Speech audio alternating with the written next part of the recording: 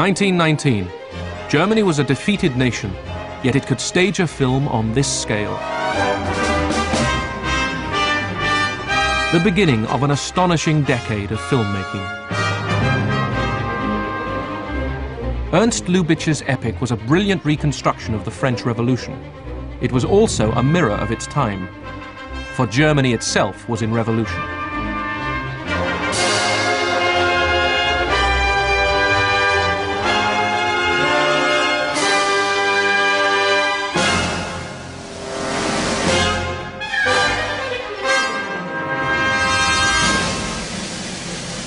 Six months after the war, the German army was allowed by the Allies to combat the new enemy in the east Bolshevism.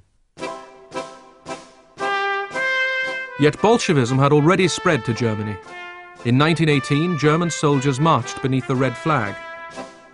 The revolutionaries claimed to have toppled the Kaiser and brought peace to Europe, but the conflict brought war to the streets of Berlin.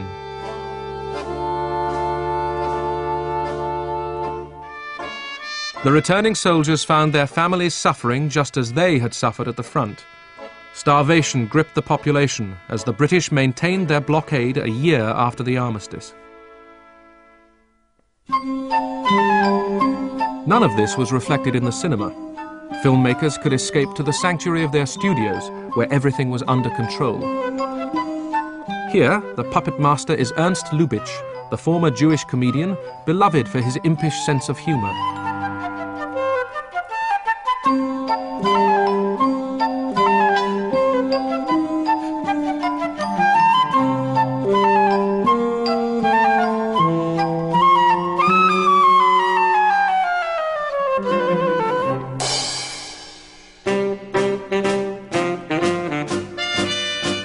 Here, the butt of Lubitsch's humor is American capitalism.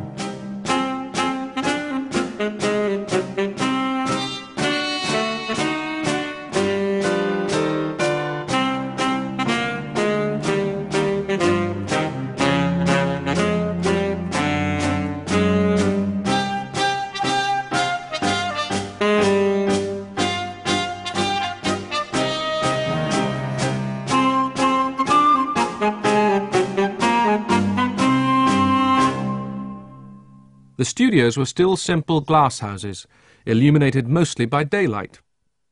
Daylight was the main source, even when artificial lights were used, for electricity was rationed. Military searchlights were commandeered to light big sets. The studios were still small. This is Decla Bioscope, which would soon be absorbed into Ufa, a studio city at Neubabelsberg outside Berlin. Cinemas proliferated until there seemed to be one on every street. The German industry flourished, for there was an embargo on American films until 1921. This sergeant will become the commander of the German film industry. Erich Pommer had created during the war a company out of the French éclair called Decla.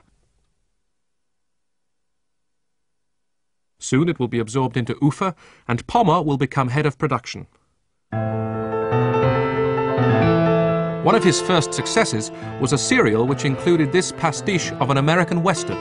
It was directed by the young Fritz Lang.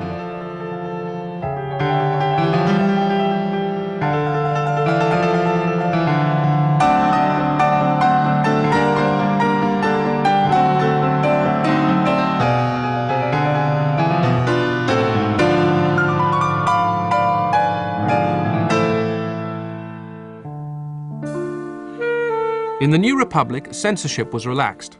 A series of Enlightenment films appeared. Nudity seemed inseparable from stories of prostitution and drug addiction.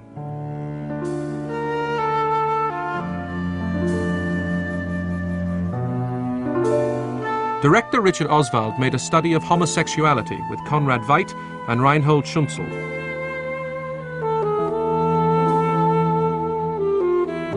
After 18 months, censorship was reimposed. Germany was gripped by fear of the future, the value of money plummeting as the cost of living soared.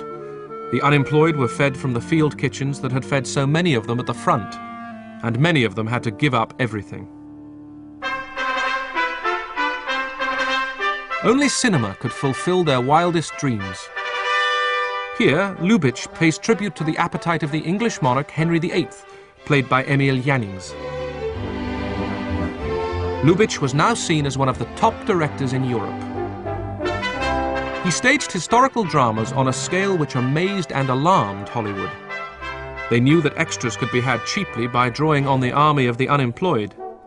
But who was this man who could bring history to life as no other director but D.W. Griffith? At Tempelhof Studios, the company was honored by a visit from the President of the Republic, Herr Ebert. His social democratic government placed great importance on the earning power of German films, with stars like Emil Jannings and the much-loved Henny Porten. But to the extras, hungry and disillusioned, the sight of the president was an incitement. Shouting, down with Ebert, they transformed a crowd scene into an insurrection, and for once in his life, Lubitsch lost control.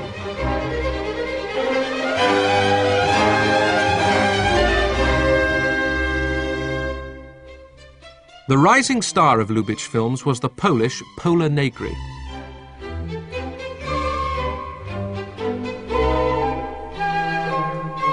She plays the laundress who would become a king's mistress.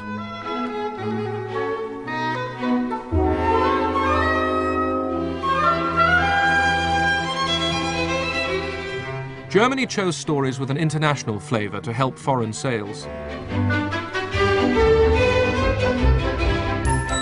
Hollywood now saw Germany as her one major threat. Lubitsch, with his wicked sense of humour, could get away with scenes no American director would dream of shooting. Under a new title, Madame du Barry was an artistic and commercial success in America. And soon Negri and Lubitsch were tempted across the Atlantic, the first of many. The political and social upheavals Germany had suffered after the war had affected every part of society. Art itself was in revolt. Artists expressed disgust and fury with their society, and seeing the excitement it evoked, a group of film designers had adopted a similar style for themselves. Expressionism. There was nothing new in Expressionism in the art world, but for the cinema it was revolutionary. It demanded unrealistic expressions of emotion, not only from the distorted scenery, but also from the actors. Werner Krauss played Dr. Caligari.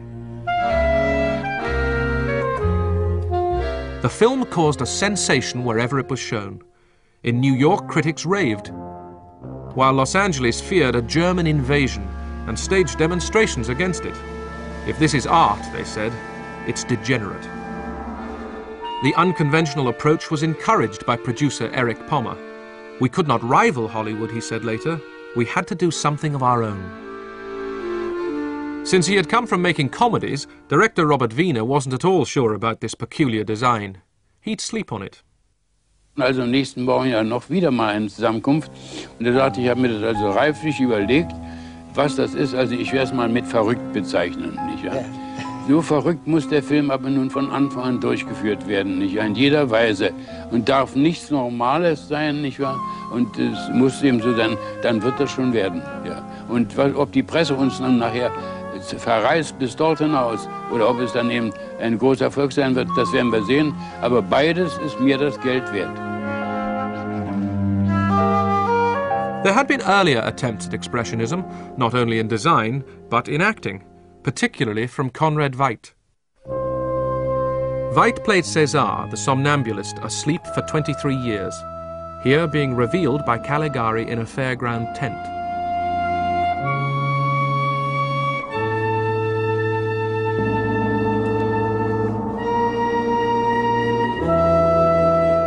Acting and design were so startling that film people argued over the contribution of the director.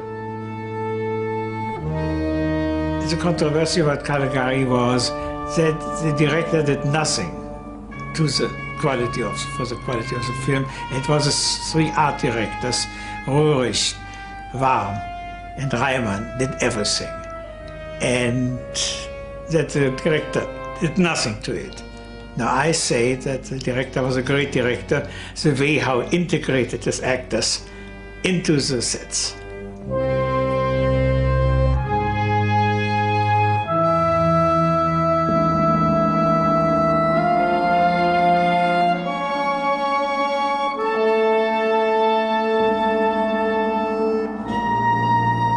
Cesar is used by Caligari to seek out victims and kill them. The victim is Lil Dagover.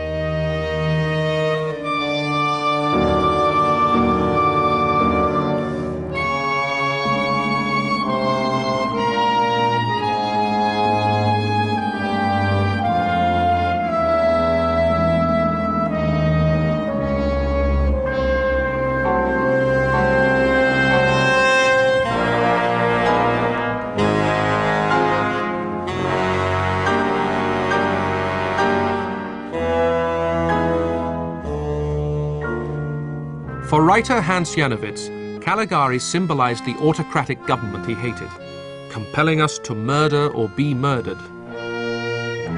For co-author Carl Mayer, Caligari was inspired by his military psychiatrist, with whom he had battled to stay out of the army.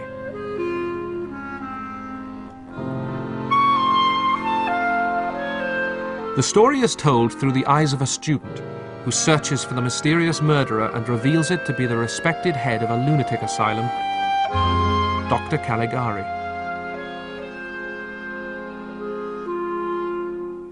Authority is overthrown. But a twist is added to the nightmare. The madman is not Caligari, but the storyteller himself.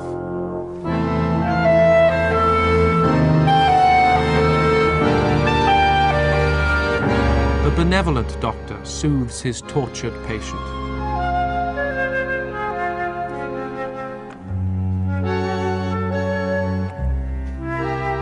Whatever subversive intentions the writers may have had are themselves subverted.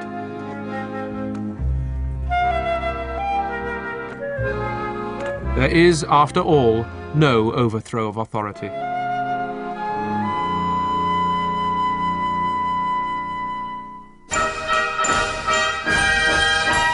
To the outside world, all seemed well with the Weimar Republic and its benevolent president.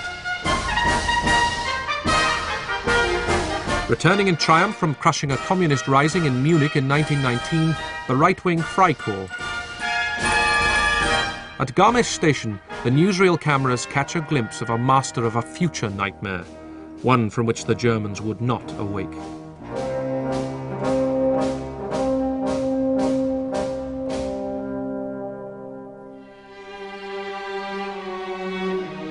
The Jewish legend of the golem so fascinated the actor Paul Wegener that he made no fewer than three silent versions. The golem is a statue which comes to life when a Kabbalistic Star of David is placed on its chest. A leading actor with the celebrated Max Reinhardt Theatre Company, Wegener shared with many theatre people an enthusiasm for cinema. The true poet of the cinema, he said, must be the camera. That camera was capable of immense power, even though it hardly ever moved.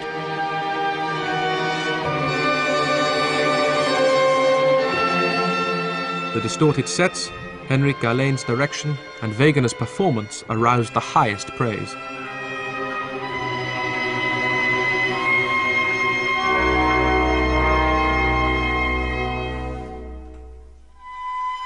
The film had a strong influence on the Frankenstein films made a decade later in America.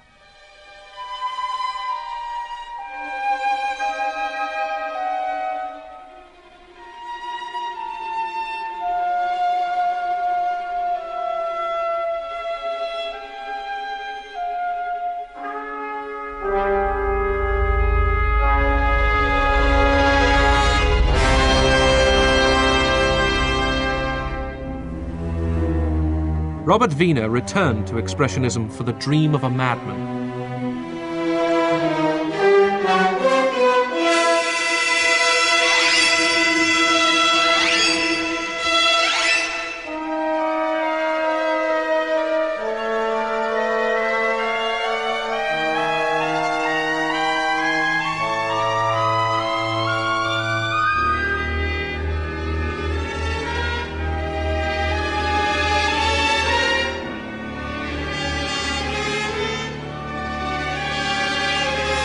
Expressionism was used throughout the film, but it was fading by 1923.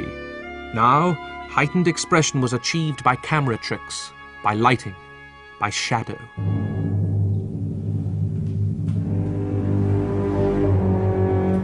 F.W. Murnau conjured an atmosphere of terror which nobody who saw Nosferatu would ever forget.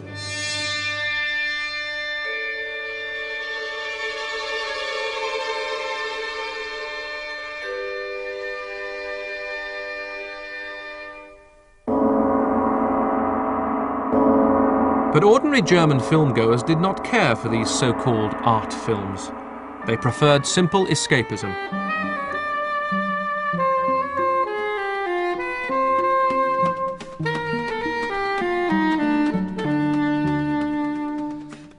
Adventure in foreign lands was far more popular, like this serial. Produced by Joe May, Fritz Lang worked on it as an assistant. If you had no money, you could still go to the cinema with lumps of coal. In the deepest depression, the cinema flourished. 1923 was the year of the Munich Putsch, when General Ludendorff marched with Hitler against the Weimar Republic. They were arrested, and Hitler was jailed. Newsreel cameras caught the occasional glimpse, but hardly any films were being made about the inflationary period, the most cataclysmic in the brief history of the German nation a loaf of bread reached a billion marks. To survive, you had to be paid at lunchtime, or your wages might not cover your family's evening meal. Film editor Julia Wolf came to Berlin from England. Life in Germany in the 1920s was quite crazy. The mark had dropped, and it had no value at all, and the women were selling souls for a pair of stockings.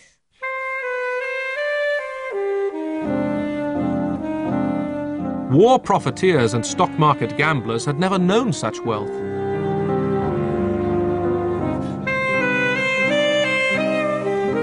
Families sold their last possessions, while the day's wages for a small firm needed special transport. A defeated Germany was now utterly humiliated.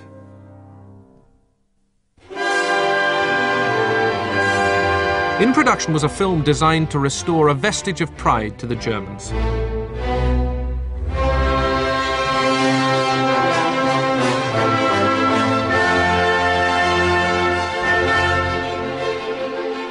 The film was dedicated to the German people.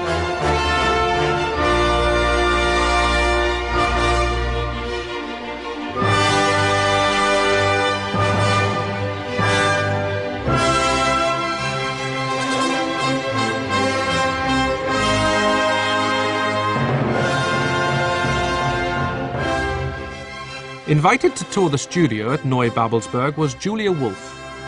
And then finally they took us to the Great Dragon, of which they were terrifically proud, and justifiably so, because nothing had ever been created like it for films before, and it was enormous, and it had blinking eyes. And although we didn't have colour in those days, it was all coloured golden, fiery red, and it really looked fierce.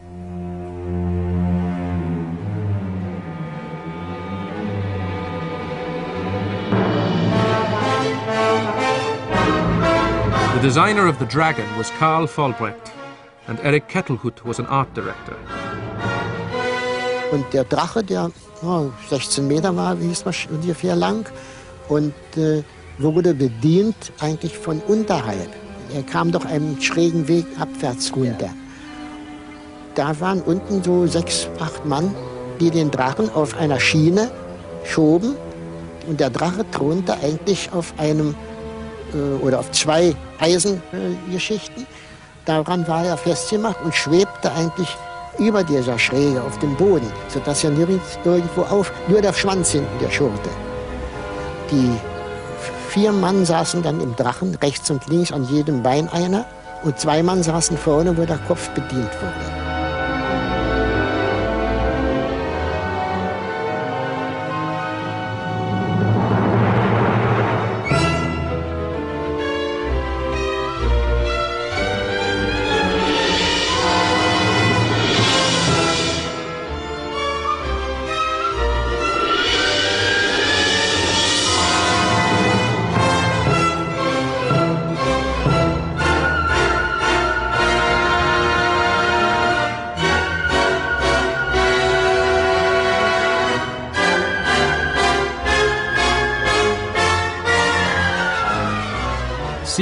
Bathes in the dragon's blood. The Nibelungen has taken on a new resonance, as if Fritz Lang and his team had predicted rather than recreated. Ah, Nibelung is the beginning of the Nazi style. If you see Nibelung, Nibelungen now, you think it could have been staged by Benno von Arent as one of the rallies, you know. Perhaps Benno von Arent recalled this film when he staged the Nazi rallies. It was one of Hitler's favourite films.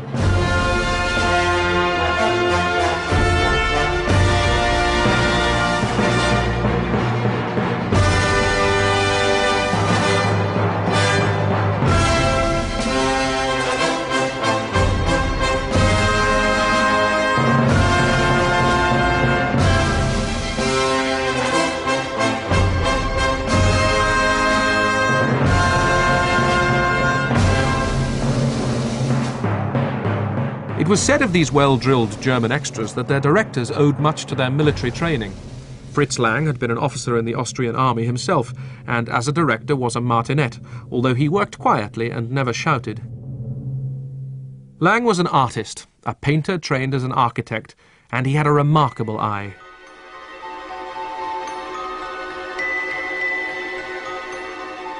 Scenes like these deeply impressed Hollywood directors like King Vidor. Vidor said to me, in Hollywood, the cameraman lights the star. In Europe, he lights the set. And there you have it, and you see it incomparably in those great German silent films. It's the design and the decor which is doing the work, really telling the story.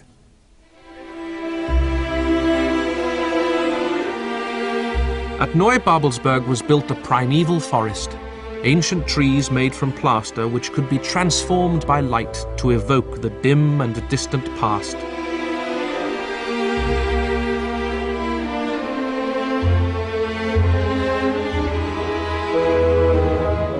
Lang rejected Wagner's version and made his own film from the Teutonic myths.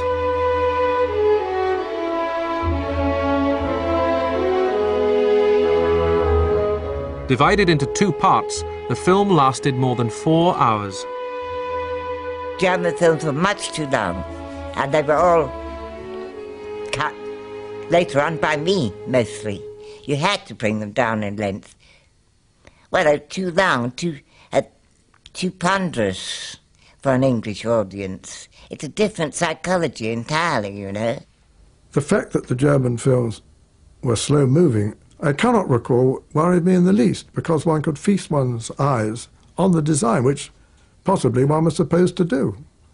And that sombre pace was so much part of the sombre stories so many of them told. It wasn't until the horror of inflation was over and the money supply had been stabilized that the Germans made a film about it. It was significant that G.W. Pabst could find no money in Germany for his story and only got backing from France. Bedecked in borrowed finery, Asta Nielsen gave a tragic portrait of a poor girl, now a rich man's mistress, who turns on her lover.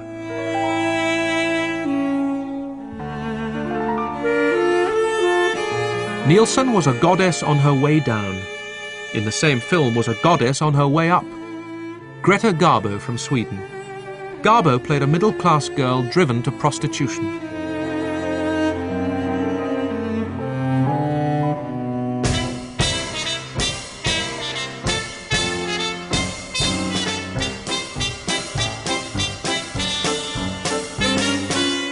Garbo was very nervous, Pabst told me, during the shooting of Joyless Street. And for that reason, Pabst overcranked some of the scenes just to get her slowing down her actions. Garbo did not stay long in Germany. Louis B. Mayer, visiting Berlin, invited her with her mentor, Moritz Stiller, to the MGM studios in Hollywood. The UFA studios in Neubabelsberg were expanding and overspending. UFA now controlled many of the German production companies and turned films out on an assembly line, much like Hollywood. Serials, comedies, dramas.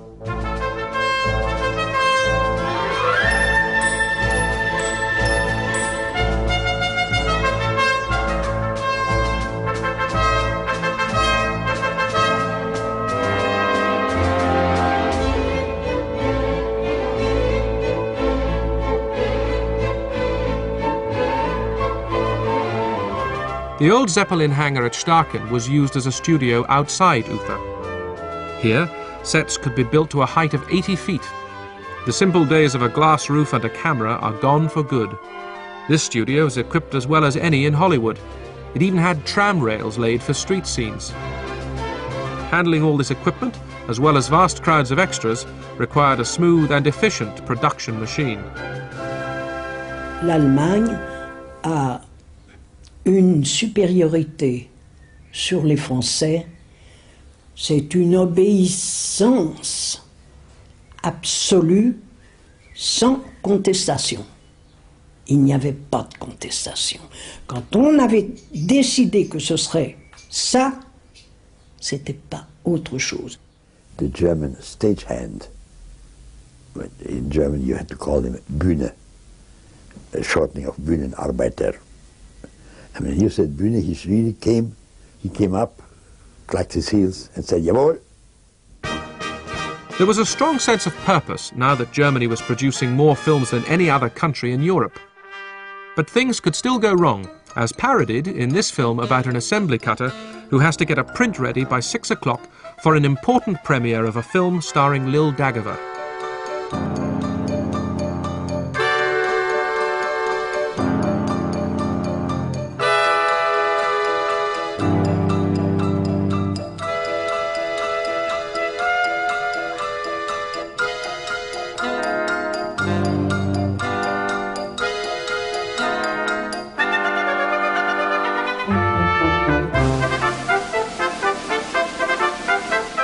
Film is shown to the public, she realizes she has made a terrible mistake. Lil Dagover has breakfast.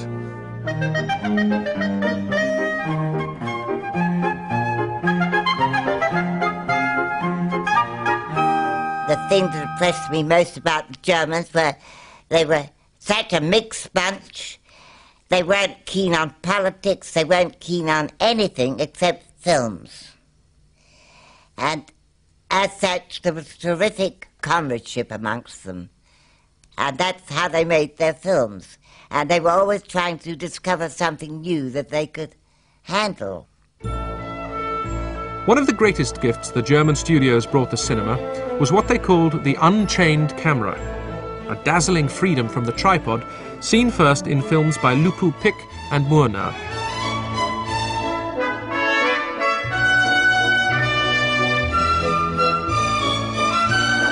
They constantly looked for new ways to extend the power of the camera. A man's sensation of being crushed and pursued by his surroundings was brilliantly achieved by the use of double exposure and mobile sets.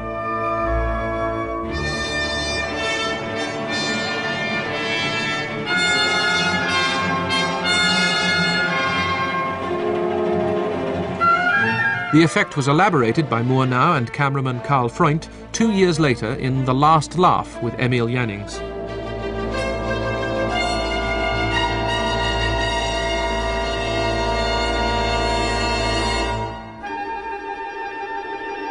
This was the film that showed the world in 1924 that the camera had no limitations. Producer Erich Pommer had said, try to invent something mad. Pushing the camera across the lobby on a bicycle seemed mad enough at the time. Mounting it on Karl Freund's ample stomach attached to the electricity supply seemed positively hazardous, but they went further. This model demonstrates how they zoomed before the invention of the zoom lens, suspending the camera like a cable car.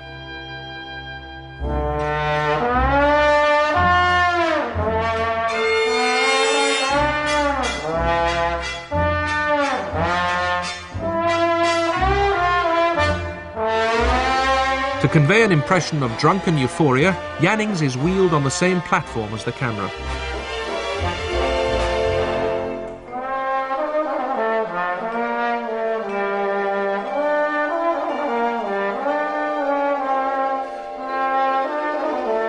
The story of The Last Laugh, told with only one subtitle, revolves around the German respect for uniforms.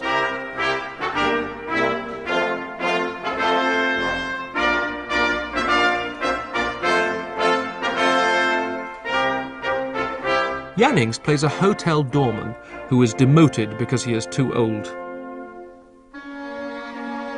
He is reduced to being a lavatory attendant, stripped of his precious uniform and in abject despair. This is where most German films would have finished, but Carl Mayer wrote a parody of all happy endings. The doorman inherits a fortune and his employers are suddenly his servants. Despite the happy ending, the film did not earn the dollars Pommer had hoped for. But Jannings was hailed as the greatest actor of the cinema, and in every country the critics raved.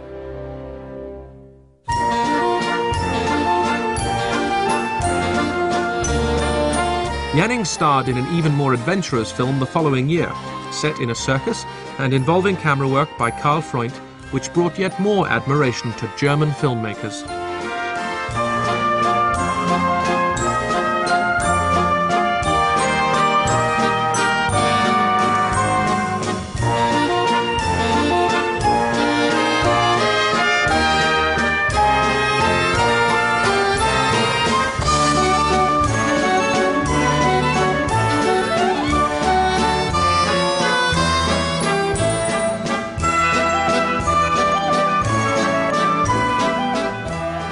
Directors like E.A. DuPont wanted a new realism, allied to all that their technicians had learnt.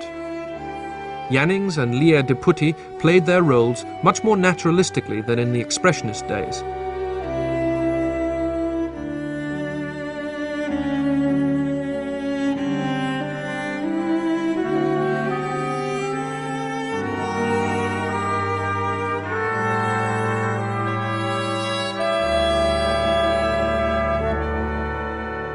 Ich habe also als Beleuchter mit auf der Beleuchterbrücke gesessen und habe runtergeschaut, habe gesehen, wie ein Film inszeniert wird und äh, all das hat mich mächtig interessiert.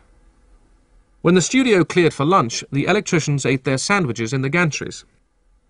Es wurde also ruhig im Atelier, nur wie man von oben bemerken konnte, Emil Jannings und Lia de Putti waren zurückgeblieben, zogen sich in diesen äh, Zirkuswagen zurück und gaben sich dann dort den allerlebhaftesten Bezeugungen ihrer gegenseitigen Zuneigung hin, was von den Arbeitern natürlich mit größtem Interesse beobachtet wurde. Sie waren mucksmäuschenstill. Und als das nur alles den Höhepunkt überschritten hatte, brachen sie in einen riesigen Beifall aus und die beiden lachten nach oben und es hat ihnen auch nichts Besonderes ausgemacht, denn diese Lia di Putti war ein außerordentlich fideles Huhn.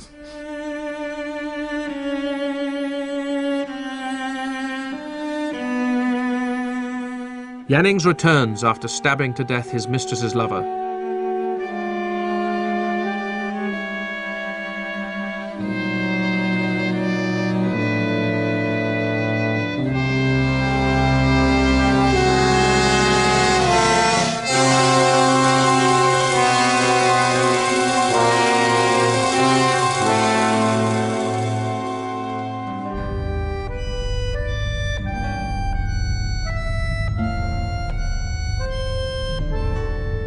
Such was the prestige of German technicians that the top American cameraman, Charles Rosher, came to Berlin. He watched the production of Murnau's Faust, the supreme example of German fantasy. Every shot seemed a miracle of imagination, allied to equally brilliant mechanics.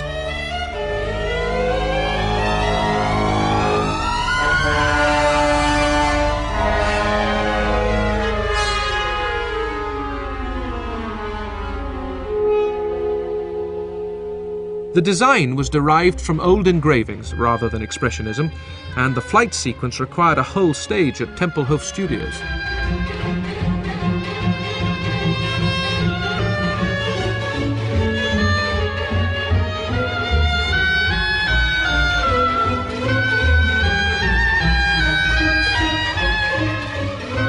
Ufa wanted to cast the film with actors of international stature. Lillian Gish agreed to play Gretchen, but made difficult conditions. A rising young actress called Leni Riefenstahl, working on the next stage, tested in a blonde wig. But the role went to an unknown called Camilla Horn. Emil Jannings played the devil, and the Swedish Gösta Ekman played Faust, both in youth and old age. Camilla Horn was deeply impressed by director Murnau. Für mich war er der liebe Gott. Ich habe nur zu ihm aufgeschaut. Und ich tat alles, was ich ihm von den Augen ablesen konnte. Denn ich wusste, dass er mich mochte, sehr mochte. Aber er war eher streng zu mir, war sehr streng. Im Gegenteil, man hat mich zum Beispiel durch das, äh, das ganze Atelier durch den Schnee geschleift, an, den, an diesen Eisenketten, als er mich zum, zum Scheiterhaufen brachte. Und da war natürlich, also die, ich, ich musste äh, Widerstand leisten und äh, war, hatte nackte Beine unter meinem Büßergewand. Und das blutete. Und ich, ich, ich schau, schau, sagte, schauen Sie, Herr Mona, das blutet ja. Das will ich gerade. Also ich weiß nicht, ob man so etwas nennen kann. Das war beinahe ein bisschen sadistisch, aber er war es trotzdem nicht. Gretchen, accused of killing her baby, is burned at the stake. Faust abandons his pact with the devil for the sake of his love for her.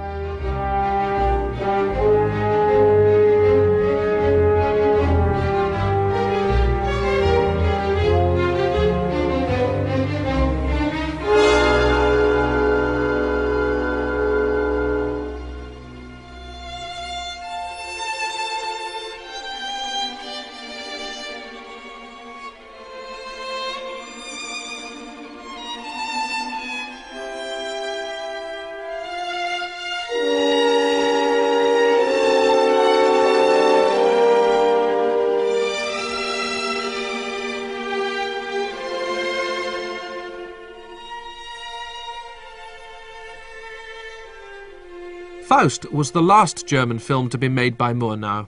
He left for the United States, yet another major director to be lost to Hollywood.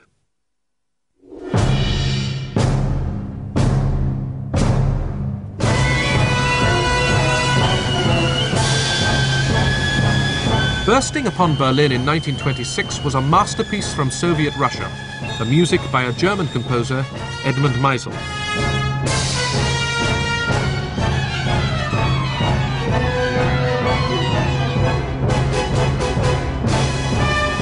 It was a huge popular success and, to filmmakers, a revelation.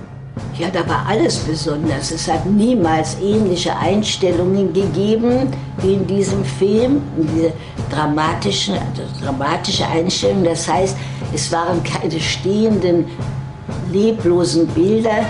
Und dann war bei diesem Film auffallend, was es vorher überhaupt nicht in der Form gegeben hat, der Schnitt.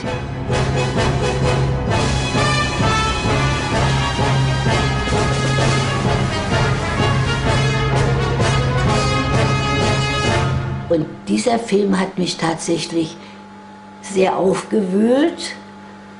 Und von diesem Augenblick hatte ich das Gefühl, dass Film Kunst sein könnte.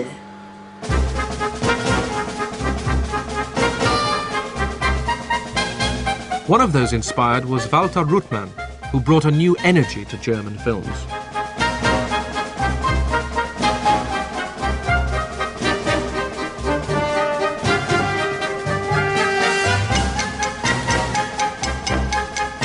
Woodman has a very a mastery of feeling of movement and all.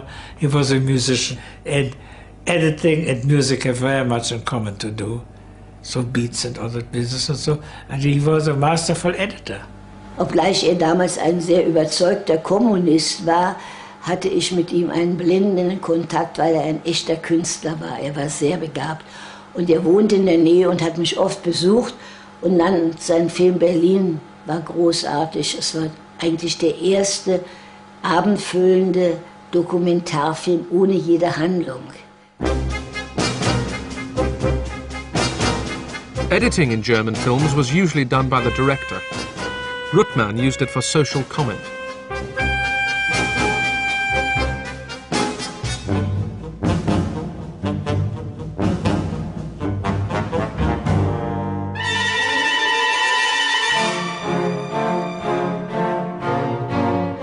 Fritz Lang made social comment through a monumental vision of the future, written by his wife, Thea von Harbou, in which the working class is kept literally underground and out of sight.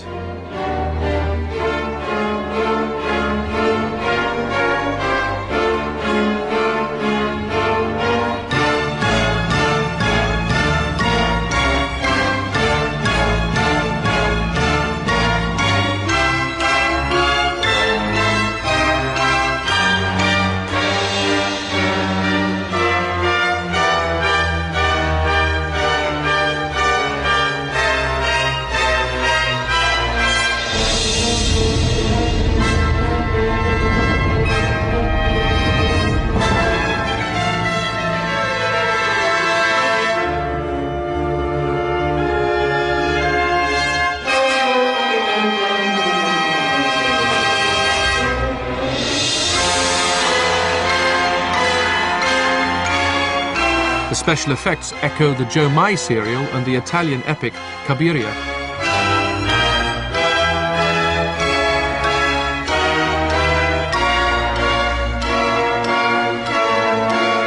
Massive sets were made still more massive by the ingenious Schüfftan process.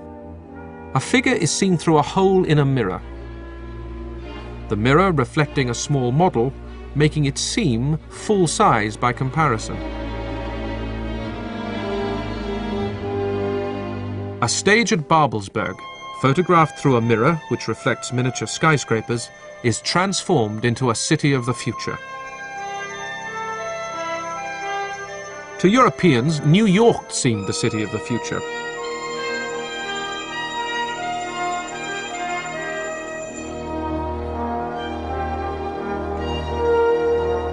In 1924, Erich Pommer and Fritz Lang sailed to New York to study American production methods. Und der Dampfer lag am Pier und uns gegenüber war eine Straße, die war ganz hell erleuchtet und Lichtreklamen drehten sich. Und es war irgendwie wie ein, wie ein Märchentraum. Und dort bekam ich die erste Idee zu Metropolis.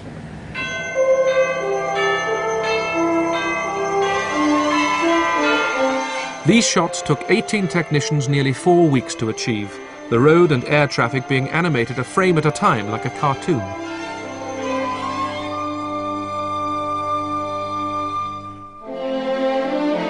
The film concluded with a message for capital and labour that between the head and the hand must be the heart.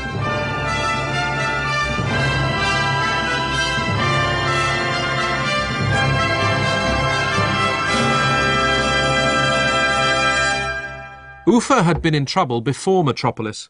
Paramount, MGM, and Universal raced each other to Berlin. In return for a massive loan, they seized control of distribution. UFA's distribution company was now also controlled by Paramount and Metro Goldwyn Mayer, Parufamet. Pommer, who hadn't been happy with the deal, was forced to resign. He went to Hollywood. Metropolis had gone way over budget. Stronger mark made the films harder to sell abroad. When the film came out, it proved a financial disaster for UFA, which threatened to bring down the entire German film industry.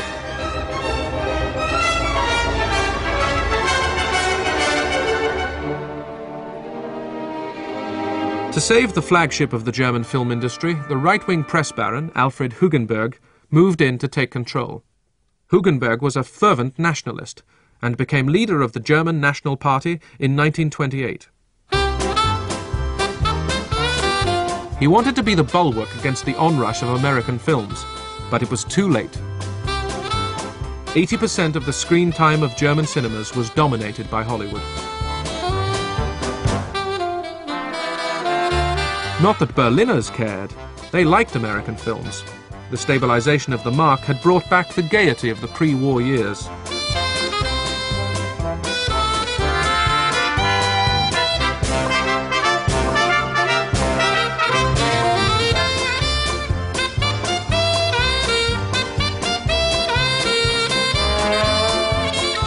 Berlin really was a sort of wonderful sin city. You felt that everybody was prepared to do anything that might give them pleasure. It was a sort of forced gaiety, not entirely forced, uh, I think a rather genuine feeling of gaiety, but the gaiety that comes from desperation. There was another side to Berlin, mirrored in the social dramas of Gerhard Lamprecht, dealing with poverty and unemployment.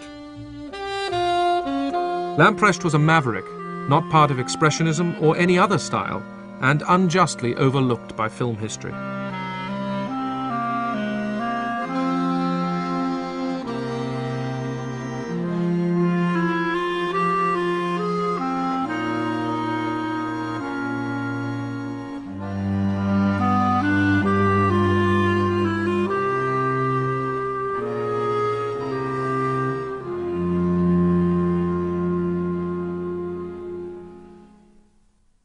G.W. Pabst was the leading figure of a new style which reflected a Russian influence. A lost diamond has been recovered.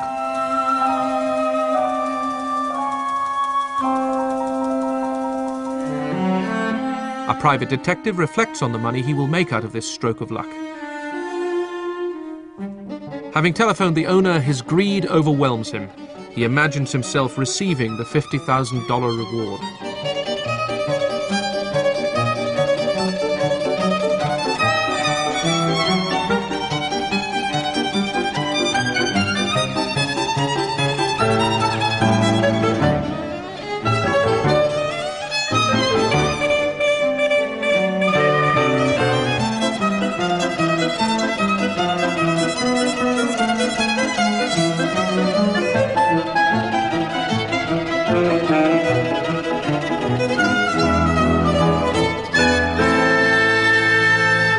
That that was a that was the future of, of silent films that they would they would develop that excellence, and that's why I was I was horrified at the thought of talking pictures. Talking pictures had already arrived in America, but with the huge costs involved, Europe was holding back.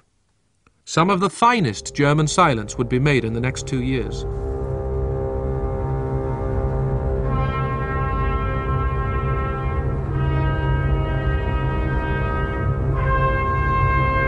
Mountain films had become immensely popular. Shot on location, they were a breath of fresh air after the claustrophobia of the studio pictures. The star of most of these films was Leni Riefenstahl.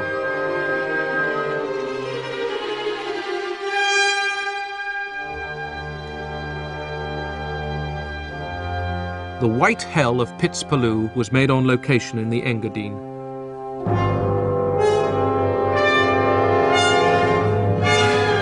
The actors had to do their own stunts and sometimes paid the price, as here, with a vicious crack on the head. Trapped high on a mountain, the girl's husband is badly injured. The company worked on the Morteratsch Glacier, with temperatures often 30 degrees below freezing. The mountain films had been pioneered by Dr. Arnold Fanck, with whom Leni Riefenstahl had been working for some years. Fanck was persuaded by Riefenstahl to work with G.W. Pabst because she felt the film needed more human emotion.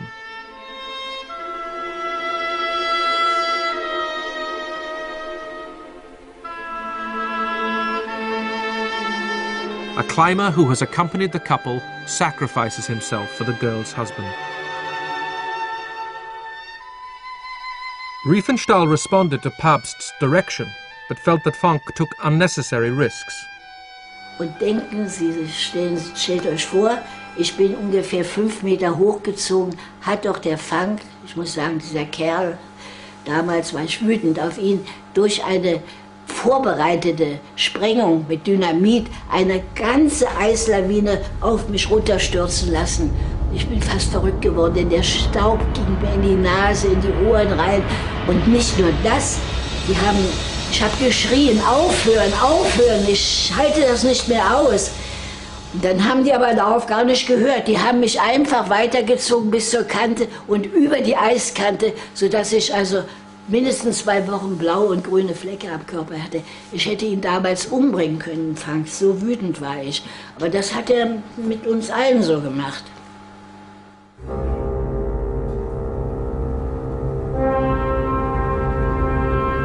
Fanck's mastery of the technique of the mountain film has seldom been excelled.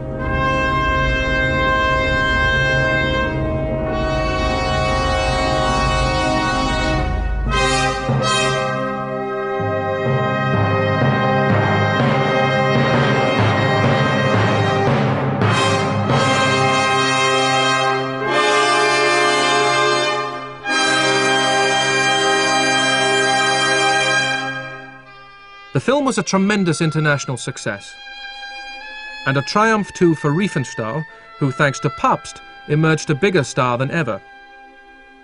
Pabst had a knack of making stars.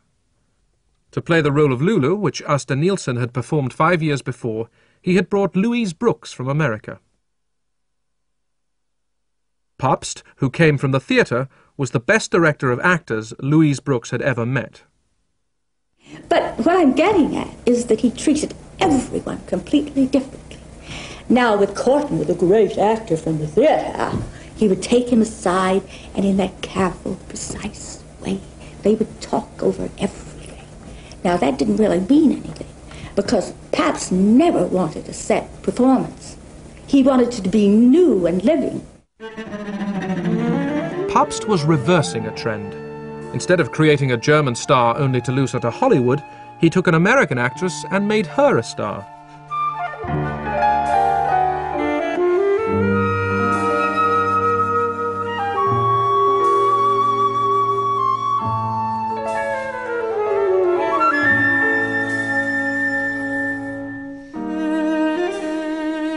Pabst saw in Louise Brooks an erotic quality which Hollywood had barely exploited. Sex was a theme that in American and English films could only be treated very superficially. But the German films in those days started talk, beginning to treat sex themes at a much deeper level. The camera work was uh, extraordinarily non-realistic and basically enormously sensual.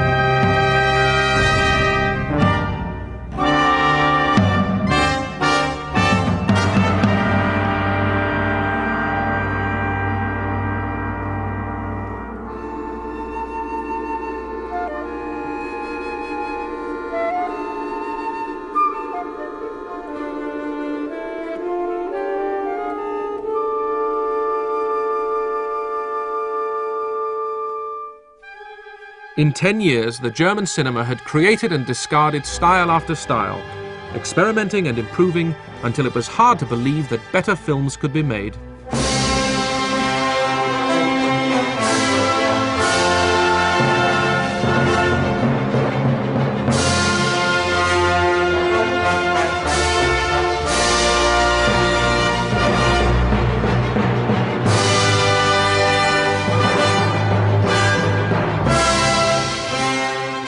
G.W. Pabst emerged from this decade as perhaps the greatest of all German directors. A man sensitive to technique and design, but who put human beings before it all. This scene from one of his last silents achieves what so many silent filmmakers have been aiming for to express several ideas at once with pictures and music and no words.